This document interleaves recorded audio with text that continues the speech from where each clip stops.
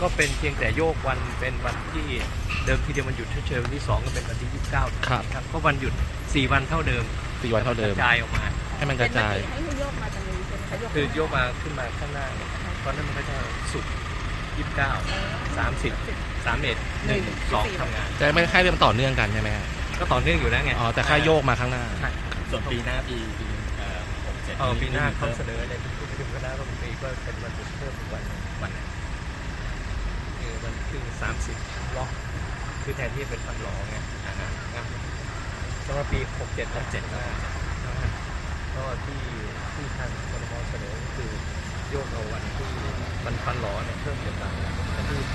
สามสิบของเดือนมกราธันวาธันวาอ๋อหกเจ็ดโอเคอ๋อปีหกเจ็ดครับอ๋อ